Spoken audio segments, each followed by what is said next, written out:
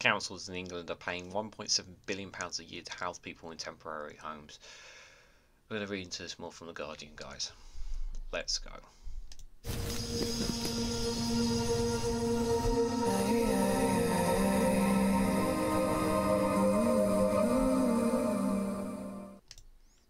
Good morning, good afternoon, good evening, wherever you are in the world. This is Regan Elite here with an article from The Guardian with the headline that councils in England are paying £1.7 billion a year to house people in temporary homes.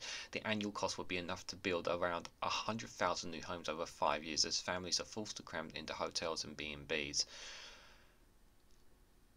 That money would be enough for 100,000 new homes, guys. Just let that sink in just for a moment, given the current housing situation that we find ourselves in. Now, there is one little caveat I have to point out is that the Conservative Party have built over the last 13 years, they have built the most amount of houses that's ever been built in um, the most amount of houses, but um, it doesn't change the fact that they haven't built anywhere near enough and needed for people.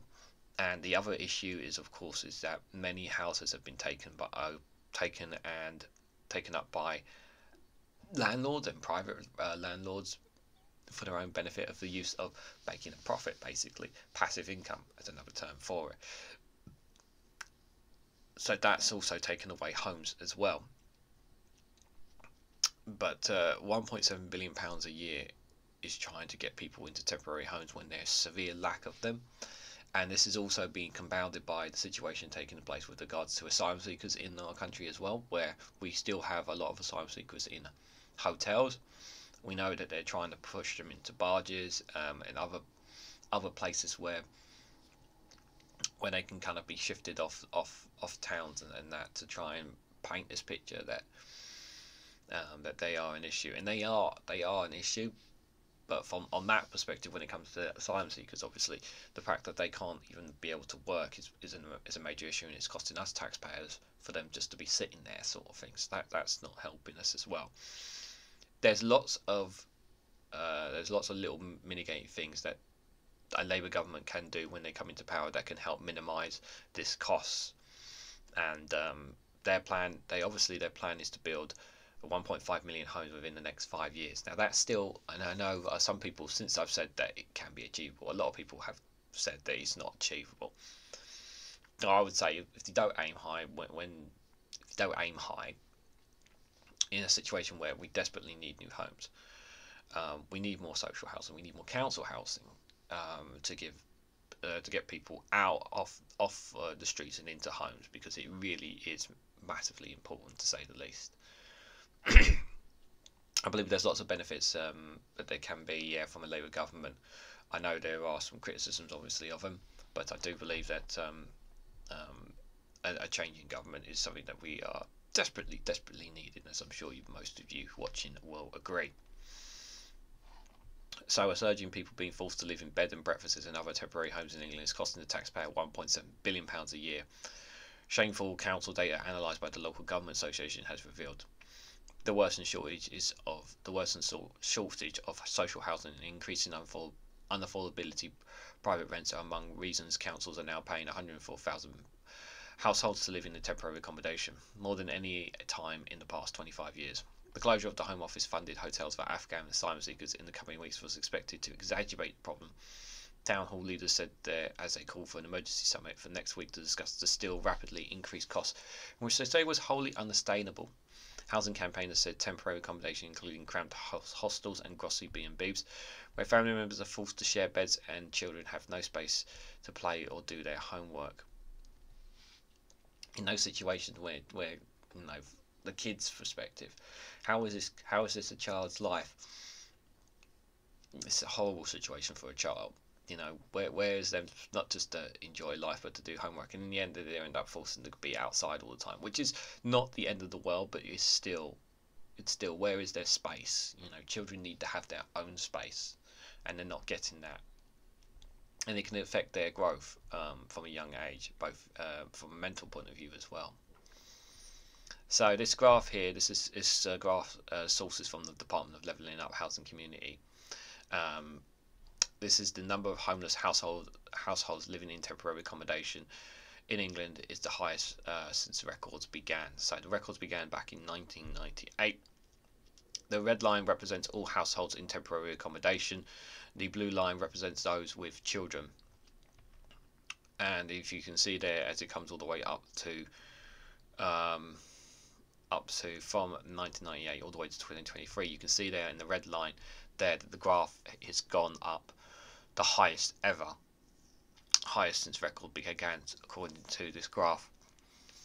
And also, if you look at children there, although between um, it had started to dip um, under a Labour government from 2010 onwards, it seems to steadily increased there. Uh, between uh, 2016, I would say, and 2020 for children, it was kind of steady. Um, it dipped a little bit, but uh, since uh, last few years, it's gone gone up again there, as you can see see from those graphs. So um, there's no data available for the number of households in temporary accommodation with children before 2002, which is why, if you're wondering why the graph isn't going far back to 1998, they haven't got that data.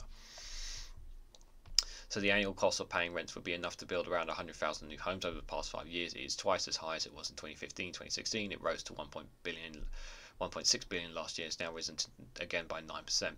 Stephen Holt, the leader of Eastbourne Borough Council, which is hosting a summit on Tuesday with more than 100 councils, said the situation is stark. Councils providing a safe, providing a safety net for the most vulnerable people, and that safety net is a real risk of failing. More than 130,000 children are living in temporary housing, the highest ever number.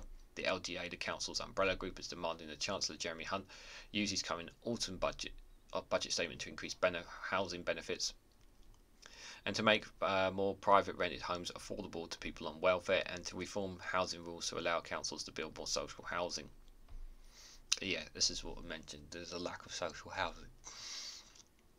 The rules are making it impossible for councils to build homes because there's always something in the way. And they need to, Labour the government, when they come in, they need to to remove those barriers so that there's more leniency to building homes. I understand the whole not in my backyard reference. Well, I'm afraid that reference needs to go out the window because we have a housing crisis and people need homes to live in.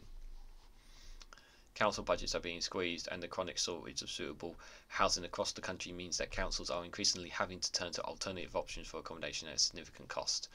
Yeah, people are paying well over the odds just to find a find find a place to, to stay, a place to live, and it's outrageous uh, says Darren Rodwell, the leader of the London Borough of Barking and Dagenham at the LGA's housing spokesperson.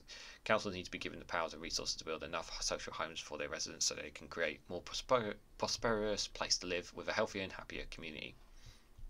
The LGA says asylum and resettlement schemes were added to the problem and increased pace and scale for asylum decisions. The closure of the home Home Office run hotels for Afghan refugees over the next few weeks and ongoing support for the homeless Ukraine and Afghan households are increasing pressure on councils' capacities to house people who otherwise face homelessness.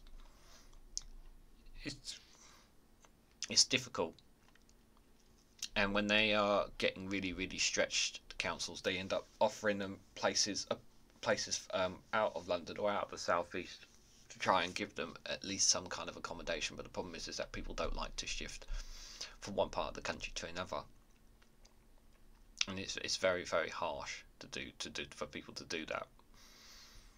The number of households in temporary accommodation in the previous peaked in 2004 before falling steadily, according to the House of Commons Library. This trend changed in December 2011 when the number of households in temporary accommodation began to rise year on year. The housing charity Shelter warned last year that temporary accommodation was too often not temporary. It said two thirds of families have been in supposedly transitional housing for over a year, rising to four fifths of in London. Some families have been there for more than a decade. It was creating a new kind of government provided housing, it said, but one without tendency right specific standards and effective overnight. It's shameful that thousands of children across the country are growing up without a safe and secure place to call home, says Polly Neate, the chief executive of Shelter. As homelessness reaches record levels, the government cannot continue to ignore the crisis as an immediate as an immediate solution. The government must use the autumn statement to unfreeze housing benefits so people can afford their rents.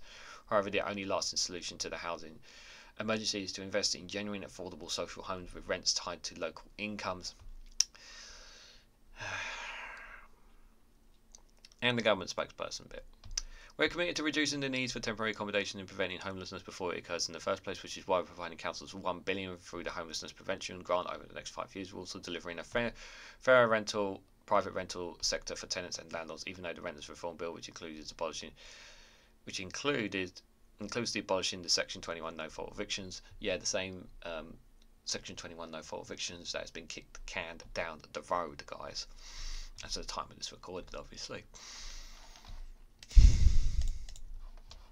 They say they vote. They always say this that they've they've invested this or they've given councils this. We hear it all before, guys. We hear it all before, and um, yeah, basically, uh, you're on your own. Sort it out yourself. Is what the government's basically saying. Um, not helping anyone really with the situation. Um, it's devastating. It's devastating for people, for for those who are just trying to find a home, and it's even worse for children. This badly affects children and their education and their future as well. All these things just don't help anyone. They really, really don't. We need more housing. We need it as soon as possible, and we need to make it as easy as possible for them. Um, more social housing, uh, council houses, um, getting off the uh, get as much on the brown off the brown fields as possible as well. Obviously, they're going to be end up some going to be on green, on some green, which unfortunately is inevitable. But given the situation, it's pretty desperate right now.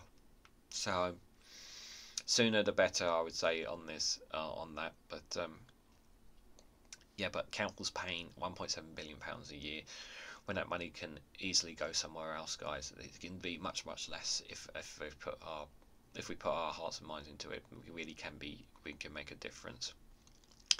And hopefully, uh, the sooner we have a general election, the sooner we have a new government in, properly policies, they'll have policies and that in place to obviously help councils as best they possibly can in this situation. But what do you guys think? What do you guys think of this current situation? We're paying 1.7 billion pounds a year, specifically in England, guys. This is not with regards to Scotland or Wales or Northern Ireland. Um, what do you guys make of the homelessness, temporary homes? What should the current government be doing now, guys? Let me know in the comment section down below what you guys think they should be doing.